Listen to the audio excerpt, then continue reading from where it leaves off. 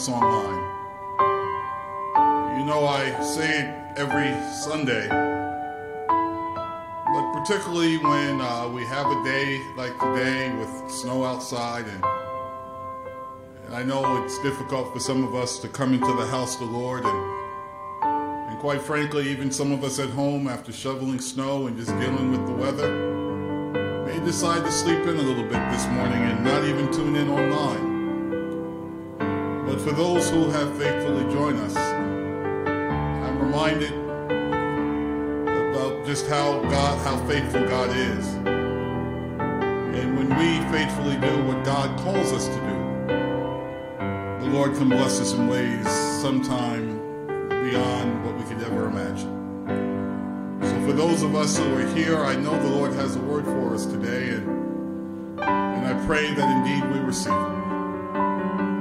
Those who are joining us virtually online, welcome. For those here in the sanctuary, welcome. We come together as one body in Christ. And let's see what thus saith the Lord today. Let us pray. Dear Lord, we thank you so much for this opportunity to come into your house, O Lord, either physically or virtually. And we are so thankful, Lord, for those who have decided to come despite it all. And then, Lord, as I often say from this pulpit, you are so purposeful that there's a reason why you have us come. There's a reason why we, out of everyone else in the world, you chose to have us come to this place at this time, at this moment. And Lord, we pray, oh Lord, whatever the reason might be, whatever is your plan, we pray thy will be done. Let nothing, Lord, within us, O Lord, hinder your plan from coming about. Let nothing, Lord, keep us from receiving what you have for us today. And then, O Lord, of course, we gather, Lord, to praise you, to lift up the name above all names. And I pray, Lord, that we will do this in a way, Lord, that is consistent with thy will, your instruction to worship you in spirit and in truth. In spirit, Lord, I pray we worship with all that we have, mind, body, and soul. And in truth, Lord, I pray, O Lord, we will indeed worship you in the name of our Lord and Savior Jesus Christ. Be with us, O Lord, as we go forward. Look forward, O Lord, to see what you have for us today. Forgive us, O Lord, for every sin, every transgression. Prepare us, O Lord, for this time, this moment. Lord, to you be the glory. In Jesus' name we pray. Let all God's children say, Amen.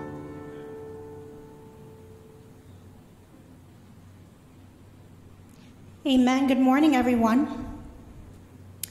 Something occurred to me this morning as I was getting ready for church. Has anyone ever heard the old expression, where there's a will, there's a way? Well, what we're about to do here today is the Lord's will, and He is the way. So let us praise Him this morning with everything we've got. Amen. Amen.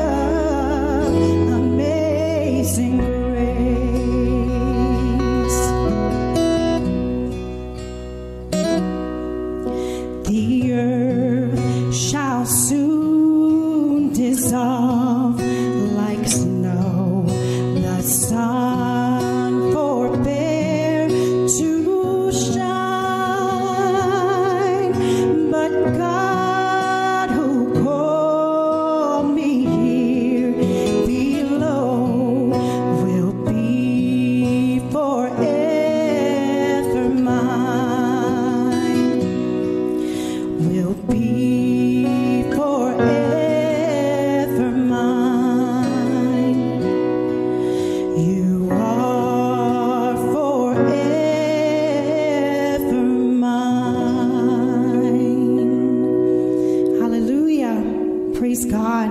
Amen.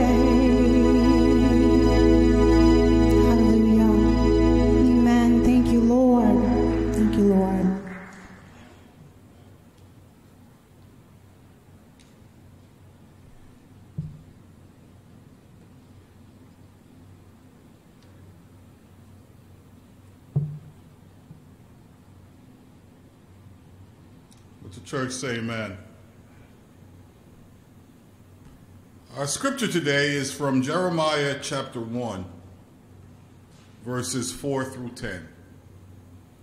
Jeremiah chapter 1, verses 4 through 10. Let us pray. Lord, bless us now by the reading, hearing, and embracing of your holy word. Speak to us, Lord, only as you can, your word and your word alone. In Jesus' name we pray. Amen. Jeremiah chapter 1, beginning at verse 4. For those who can, please stand in reverence to the reading of God's holy word. Hear now the word of God. The words of Jeremiah the prophet, the weeping prophet. Now the word of the Lord came to me saying, Before I formed you, before I formed you in the womb, I knew you. Before you were born, I consecrated you. I appointed you a prophet to the nations. Then I said, ah, Lord God, truly I do not know how to speak, for I am only a boy. But the Lord said to me, Do not say, I am only a boy. For you shall go to all to whom I send you, and you shall speak whatever I command you. Do not be afraid of them, for I am with you to deliver you, says the Lord. Then the Lord put out his hand and touched my mouth. And the Lord said to me, Now I have put my words in your mouth. See, today I appoint you over nations and over kingdoms, and pluck you to pluck up and to pluck down, to destroy and to overthrow, to build and to plant. This is the word of God. Let us all say, Praise be to God. God bless you, and you may be seated. Uh, let us pray once again. Lord, we come to that time when thy servant will stand before your children to proclaim your gospel through the preached word. Prepare me, Lord, right now for this task. Prepare my heart, prepare my mind. Allow me, Lord, to set aside all worldly distractions, all faults and failures, and to do this work proclaiming your perfect gospel in the way that you have intended. Let your word go forth like seed falling upon fertile ground, taking root in our lives and growing us, maturing us, encouraging us to be the people of God that you've called us to be. Let not the frailties of thy servant keep your word from going forth. Speak to us, O Lord, only as you can. Your word, in your word alone. In Jesus' name we pray. Amen. Let the church say amen. God bless you all. On this snowy, cold January day. Once again, God bless those of you who are here in the sanctuary and those who are joining us online this morning. Life experience Life experience or learning from our past is generally considered a good thing. You know, we always talk about learning from past mistakes, or you might have heard the famous quote those that fail to learn from history are doomed to repeat it. And for all of us, it is likely that we are wiser today than we were yesterday, and and having learned from our past, if given the opportunity, we would probably all do a few things differently. Amen? The lessons we've learned from the past can certainly change the way we do things today. But that is not necessarily a good thing. Let me explain. When I was younger, when I was a child, I thought I could do almost anything. But as I grew older, life revealed my limitations. As one example, I remember as a preteen, I would ride my bike, speeding down hills, going as fast as I possibly could go. Fearless. But years later, in my 30s, those same hills seemed so much steeper and dangerous. Years ago, I could climb onto my roof to make repairs, but now that same roof seems so much further above the ground. You know, life has taught me a lesson or two, and maybe life has even taught me a little common sense. As I never considered taking the same risks today that I might have taken years ago. When I was younger, maybe I didn't know any better, but there was no fear or reservation. And at the time, this allowed me to do things, experience things I would never, ever consider trying today. Now, think about it this way How do babies learn so quickly? I remember how many years ago my baby sister Wendy she was a climber. She would climb and she would do her best to try to climb out of her crib at an extremely young age. And she would swing her leg over the top rail and straddling the rail, just sort of dangling there with no idea what to do next.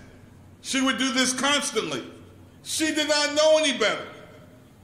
But because she was fearless and not afraid to try, she kept doing it and eventually she figured it out.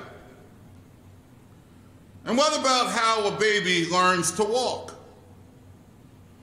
With the possibility of initially falling, if you think about it, learning to walk could be a daunting task. But, but again, babies do not know enough to be afraid. They just keep trying until they figure it out. Indeed, learning from the past can be helpful, teaching us to avoid risky things such as speeding down a steep hill on my bike or, or falling out of a crib. But focusing on past mistakes and failures can also rob us of our youthful exuberance and willingness to try and learn new things. Life can rob us of our sense of excitement, adventure, and willingness to embrace new opportunities. And you know what? This also applies to our faith. Some of us remember how excited we were embracing Jesus Christ as our Lord and Savior, or, or how we grew in the faith. It was exciting. There was a time when we truly believed Philippians 4 11 through 13, I can do all things through him who strengthens me. But then the rigor of life robs us of our joy and excitement. Just as there is something fearless and adventurous about young children, uh, the same can be said for new Christians. We are excited about the possibilities of our faith initially, and we should not let the world take this from us. Every day, the Lord offers new possibilities and opportunities. And with youthful exuberance and enthusiasm, we should embrace them. Now, talking about new possibilities and opportunities, we have one in today's scripture. Today's scripture captures the moment when God revealed to Jeremiah that he was going to be a prophet called to preach to the southern kingdom of Judah. Now, as backgrounds, after as, a, as background to this, uh, after years of God sending prophets to warn Judah because of their idolatrous sins, Judah was about to be defeated by Babylon. Well, God kept warning the people of Judah, and now Jeremiah was their last chance as he would be the last prophet to warn them. But here is what is interesting. When God instructed Jeremiah to preach to Judah, Jeremiah initially told God, verse 6 from today's scripture, uh, Jeremiah says, And I said, Ah, Lord God, truly I do not know how to speak, for I am only a boy. Now, Jeremiah, who was probably 16 or 17 years old at the time, he did not want to do what God was telling him to do. And this thing about only being a boy was just a convenient excuse. Where was his youthful exuberance? Where was his youthful, youthful sense of adventure? Why was he so apprehensive? Why didn't he want to do it? Well, I don't know for certain. But perhaps Jeremiah knew that so many others had failed before him. He probably knew something about the prophets who preceded him and seeing their difficulties, seeing how the people returned to their sinful ways. Jeremiah learned enough to conclude that this job was too much for him. Why would he think that he could possibly do it? You see, the point is, is that fear and apprehension, like we see in Jeremiah, and the things that keep us from embracing new opportunities and challenges are often instilled in us because of life experience or past failures. Sometimes we learn the worst lessons from history. When it comes to doing something new and different, we have these images of likely outcomes ingrained in our minds, and this can block us or keep us from moving forward. Because there has been so much failure in the past, we cannot envision success. You know, recently I met a young lady who languished in a dead end labor intensive job. She hated her job, but she was convinced she could not do better. She explained how she was a bad student, possibly having a learning disability. So she never considered going back to school or, or entering a training program. Her history taught her that she would fail. She was convinced that she could not succeed. And then there was the married couple who could not imagine how they could overcome the troubles in their marriage, so they just simply divorced. I've met folks who neglect to apply for jobs because they were never successful in getting those jobs in the past. Because of what happened yesterday, far too many people expect rejection, disappointment, and failure today. They expect the worst outcome, and they have convinced themselves, why should I even try? Many of us will stay in our comfort zones. We envision ourselves doing just what we're doing and, and nothing different. Like Jeremiah, we think we have a good excuse not to move forward. We think we know what we can do and cannot do. Well, if you ever felt this way, and many of us have, you need to listen very closely to the pep talk that God gave Jeremiah. God offered this pep talk. What awesome words of encouragement. Now, first, verse 5 from today's scripture. The Lord told Jeremiah, Before I formed you in the womb, I knew you. Before you were born, I consecrated you. I appointed you a prophet to the nations. You see, the Lord explained that he fearfully and wonderfully made Jeremiah for this specific task. God wanted Jeremiah to know that he was always part of God's plan to do exactly what God was calling him to do at that moment. God saw things in Jeremiah that Jeremiah could not see in himself. God created Jeremiah by God's design. By God's design, Jeremiah could do it. And then, secondly, as Jeremiah questioned his, his qualifications, questioning his qualifications, explaining that he was just a boy and he would not know he would not know what to do or say. The Lord explained, beginning at verse seven. The Lord says, "But the Lord said to me, Do not say I am only a boy, for you shall go to all to whom I send you, and you shall speak whatever I command you." Do not be afraid of them, for I am with you to deliver you, says the Lord. Then the Lord put out his hand and touched my mouth, and the Lord said to me, Now I have put my words in your mouth.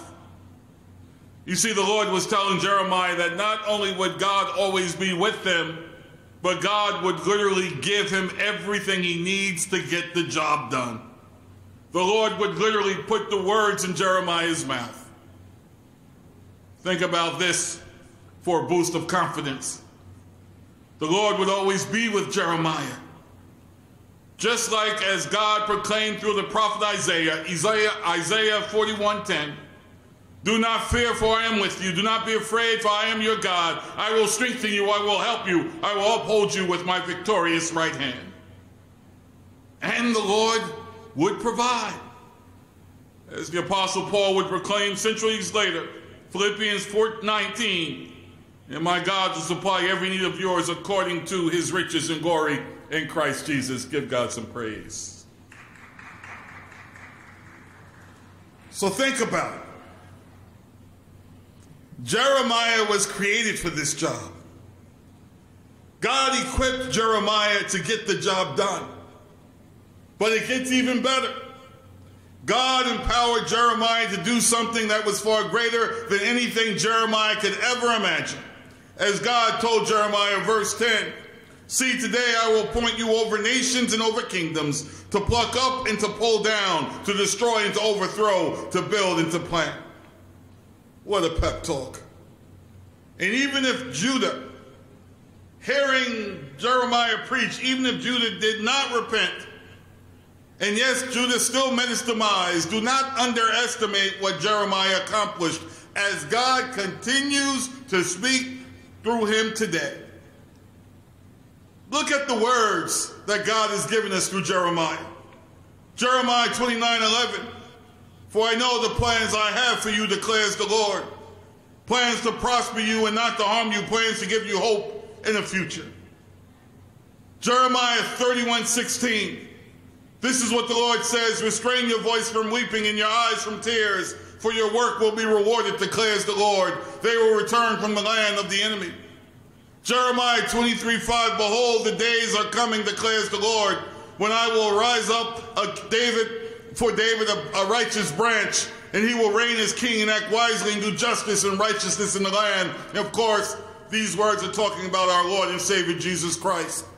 The words of encouragement and hope that God offered to encourage Jeremiah are the same words that can encourage us today. Give God some praise.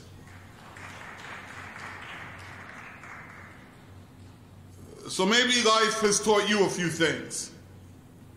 And within your heart and mind, there, there's some doubt and perhaps even some fear.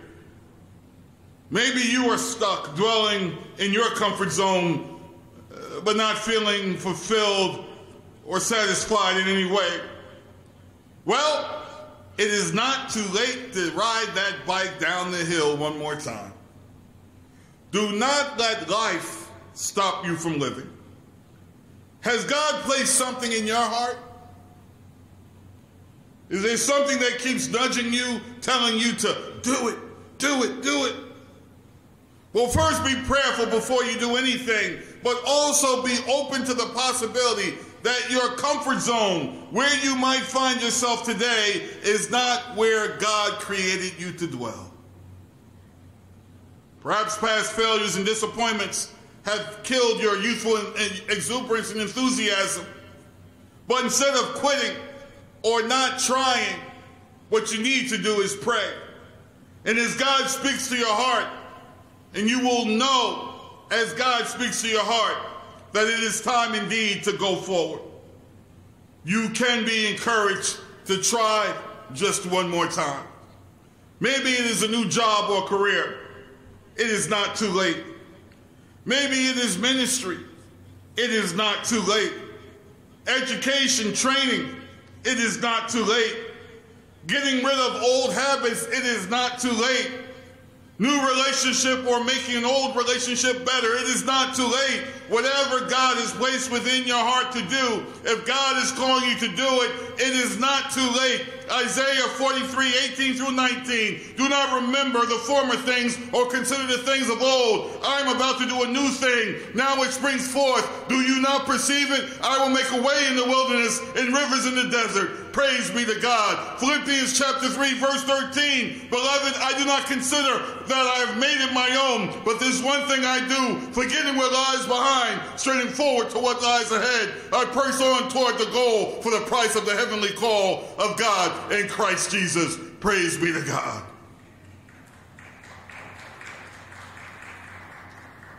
Once again, the words of Jeremiah, Jeremiah 29 11. For I know the plans I have for you, declares the Lord. Plans to prosper you and not to harm you. Plans to give you hope in the future. Prayerfully consider what has God created you to do? And whatever it is, don't you realize, just as it was for Jeremiah, God is with you.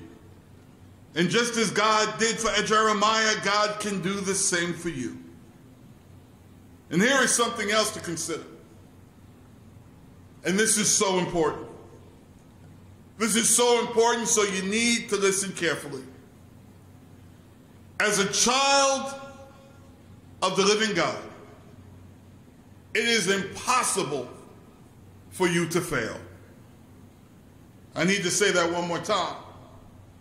As a child of the living God, it is impossible for you to fail. You cannot fail. You cannot lose. And why? Romans 8:28. We know that all things work together for the good of those who love the Lord, who are called according to his purpose. It is all good. What you may see as failure, God can turn it around and use it for your good. Every time someone has rejected you, God can use that as an opportunity to open up another door. Every time you get down on yourself, God can use it as an opportunity to lift you to places higher and higher and higher than you ever thought possible. You are a child of the living God. You don't fail. You don't lose because all victory is in your hands because you belong to God Almighty. Praise be to God. It is all good. And even better, as it was for Jeremiah, what we do, knowing that God is with us and equipping us to get the job done, we can do far more, have more success, achieve greater things than we could ever imagine. Sometimes we just need to forget about the past. Sometimes we just need to let it go. Once again, every day, the Lord offers new possibilities and opportunities. And with youthful exuberance and excitement and enthusiasm, let us embrace it and go forth and do what God has called us to do. Give God some praise. Amen. Let us pray.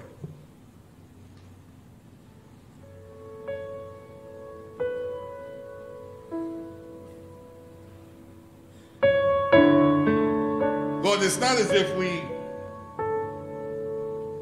don't have some things to celebrate today.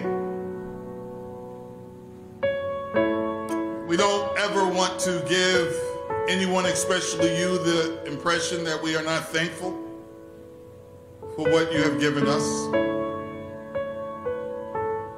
But Lord, you also know all about our journey, and many of us, oh Lord, behind us, oh Lord, we see a, a journey full of disappointment and failure and loss. And Lord, it is certainly taking its toll on our psyche, on our minds, Lord, in our hearts. And some of us, Lord, have sort of settled into that comfort zone, that place, oh Lord, where we have just settled. And Lord, we are thankful that you are there with us. But Lord, just as it was for Jeremiah, I pray, oh Lord, when that time comes, and you call us, oh Lord, to come out of our comfort zone and to go forth. The same, Lord, as you have done for so many of our biblical heroes. Abraham telling them it is time to get up and leave your father's house. Moses, it is time to go forth and to go to Pharaoh and tell him to let my people go. As it was for David when you told him it was time to come out of the field caring for the sheep and instead to care for your people. Esther, oh Lord, when you placed in our heart it was time for her to go before the, before the king for such a time as this. Lord, time and time again, oh Lord, you call us out of our comfort zone, and Lord, and when our time comes, when that opportunity or task, oh Lord, is standing there in front of us, when there is a closed door, but you're saying now is the time to open that door and to go through. I pray, oh Lord, that indeed we will have youthful exuberance and enthusiasm. And knowing that you are with us, knowing that you are equipping us, and knowing in the name of Jesus, because we are children of the living God, that we cannot fail. That we will go forward boldly, knowing that indeed through you all things are possible. We won't look back and think about all the other times we failed, all the failed relationships, all the failed job interviews and applications, all the failed things we tried in the past. Oh, there's a whole bunch of that stuff. But Lord, we're just going to let that go, not even think about it. And in the name of Jesus, with confidence and knowing in you all things are possible, we're going to go forward and embrace that blessing, that task, that opportunity that you have for us today. And then, oh Lord, I pray we understand that, that we might not feel it. We may not think that we are ready or capable of doing whatever it might be. But you created us. You know us better than we know ourselves. You, Lord, better than us, you know the fullness of our capacity. You know, Lord, what we can do.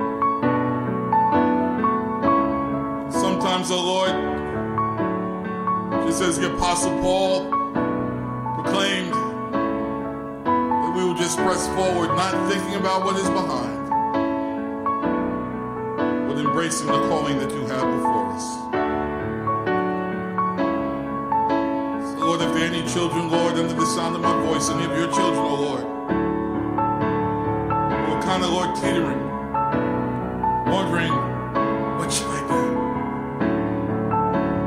I pray, oh Lord, that they will prayerfully come before you. And just as you spoke to Jeremiah, Lord, you will speak to them. And just as you, Lord, took away all his excuses, you will do the same for us. Oh Lord, I don't have time. Oh Lord, I'm too old to do this now. Oh Lord, I've been trying too long. This isn't going to work. Lord, you would just take away all our excuses. And allow us, oh Lord, to just go forward and to do it. Because it is what you have called us to do. Thank you, Lord, for opportunity. But more so, Lord, thank you for creating us wonderfully and fearfully made to get the job done. Thank you, Lord. In Jesus' name we pray. Let all God's children say,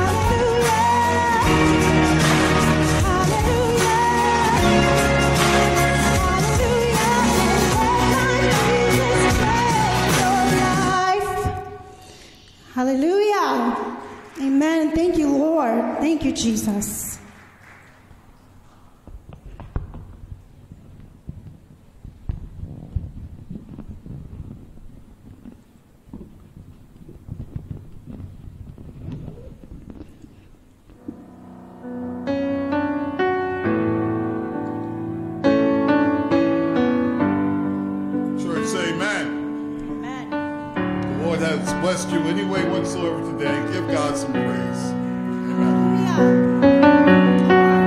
God is able. God is with us. God created us. We can do all things through Christ Jesus, our God, our Lord, our Savior, the one who strengthens us. Praise be to God. At this time, we want to invite you to present your tithes and offerings. Is through your giving we are able to continue the ministries of this church. We need your support. There is so much that the Lord has called us to do. And we are striving to do it all, and we know that the Lord provides. We also know that God's Word tells us that we are called as the body of Christ to support ministry. And that is what the Lord wants us to do. The Lord wants a cheerful giver. The Lord is blessing you by the ministries of this church, give. If you feel others can benefit, if others could be lifted up and blessed by the ministries of this church, give. If you believe that there's anointing upon the work of this church, and this work needs to continue, prayerfully, faithfully, cheerfully, give. Let us pray. Lord, thank you for the gift and the giver. Thank you, Lord, for the opportunity to serve. And Lord, we thank you for the support that you have allowed to come forth, making the ministries of this church possible. Lord, to you be the glory in all things. In Jesus' name we pray. Amen. Amen. Amen. God bless you all. Yesterday, as you know, was a stormy day. And for the first time in a long time, our food pantry was not opened. But if you do know of anyone who is experiencing a food security emergency, please have them contact the church. They can reach us 24 hours a day. Uh, there will be someone available uh, to take their call and to make arrangements to get folks who are in need of food uh, food as quickly as we possibly can. The church uh, will, uh, it's a food pantry, Woodcliff Christian Harvest will be open next uh, Saturday, first Saturday of February. And we ask that all our volunteers certainly come out and support us. Just thank this church for its support, allowing this ministry to continue. We thank our God for our partner, the Community Food Bank of New Jersey, for Target, and for all the folks of this community who come, seems like nearly every other day, to drop off donations so the work can continue. God bless you. You know about all the various ministries of this church. our morning prayer ministry, uh, which is continuing. Uh, I recently, and many of you should have recently received a survey about our prayer ministry. And one of the requests was that we find time to lift up specific names in prayer. Uh, well, there'll be some exciting news in that regard, uh, something we will be doing in the very near future uh, that I will be sharing with the congregation. Uh, and uh, we are going to offer the opportunity where we can, where folks can submit their specific prayer requests and we bring everything to God in prayer. We have our youth ministries. And there's some exciting things coming up very quickly. A retreat for our young folks and We'll be hearing more about that because we're going to need your support to make that happen. We have our children's church, which will be opening soon, uh, as long as the weather and COVID 19 can cooperate. We will be opening up our children's church once again. We are very excited about it. Our young adult ministry, our outreach ministries, Woodcliff Christian Harvest, Dress to Inspire, and, and all the things we're doing to try to help folks in this community And then, of course, this all the love and the support that all of you show your brothers and sisters in Christ. Indeed, this is the body of Christ, and, and the Lord has blessed us in so many ways. And we have, in turn, worked very hard, diligently, to bless others as God has blessed us. Amen? Give God some praise. So, we have a few birthdays that we want to acknowledge. Uh, we have one young lady sitting in the sanctuary, just recently celebrated her birthday. Uh, little Olivia, happy birthday! We also have a few other members. Uh, Sister Veronica also recently celebrated her birthday. And my son, Chuck, my oldest son, celebrated his birthday and my wife Cheryl celebrated her birthday. And in a week's time, my youngest son, Sean, will be celebrating his birthday. Which means by the end of next week, I will be broke. but, uh, but it's a joyous time in our household celebrating all these birthdays. But you know what we like to do. So we'll just celebrate uh, by singing happy birthday to our members. Amen? One, two, three. Happy birthday to you. Happy birthday to you. Happy birthday, dear Olivia and Every, all the other members. Happy birthday to you.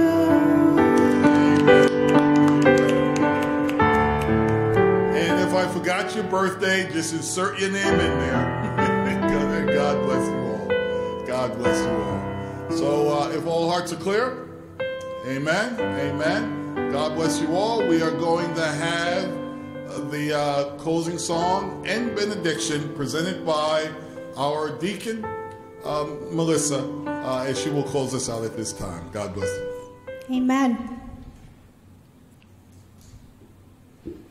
Stand and sing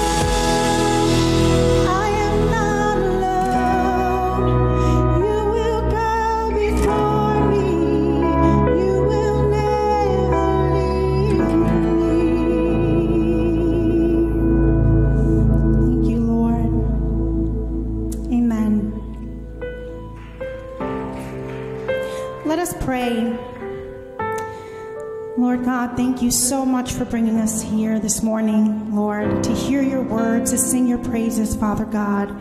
And I ask that as we leave this place today, Lord, bless all who are here and all who are represented by the families here this morning, Father. We love you, Lord, and we pray, Lord Jesus, that everyone here leave different than they walked in, Father God.